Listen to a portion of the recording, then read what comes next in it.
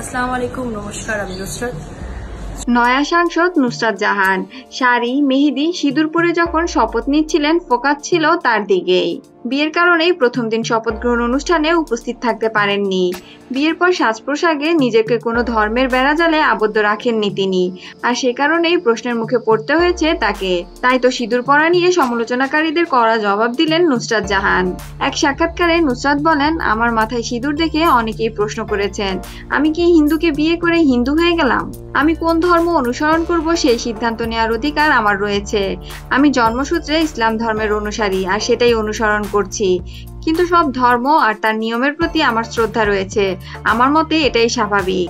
অভিনয় জীবনে বেশ কয়েকবার সমালোচনার শিকার হয়েছিলেন নুসরাত জাহান। সংসদের প্রথম দিন থেকেও সমালোচনায় জড়িয়ে গেলেন তিনি।